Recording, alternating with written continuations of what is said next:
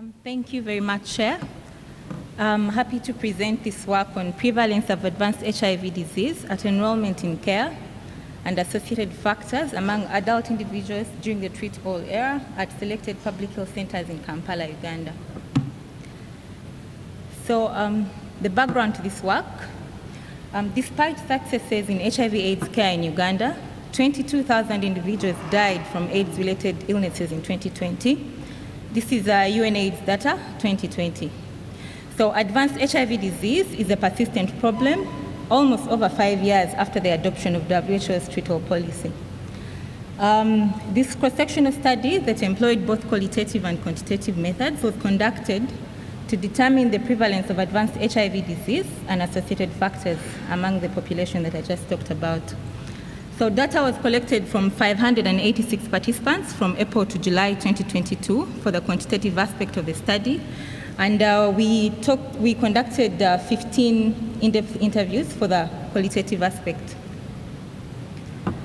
Um, so the slide shows the results. So the prevalence of advanced HIV disease was high at 35 percent and uh, we defined advanced HIV disease as a HIV disease where the CD4 cell count is less than 200 cells per microliter or, the, or uh, having WHO clinical stage 3 or 4. And for the quantitative, quantitative results, um, the prevalence of advanced HIV disease was 38% higher among males compared to females. And uh, it was also 75% higher among individuals aged 35 years and above compared to those aged 18 to 24. And uh, we also saw the prevalence being 63% um, lower among those who did not report any perceived personal health barriers. And we determined this association using modified Poisson regression. Sorry. Sorry.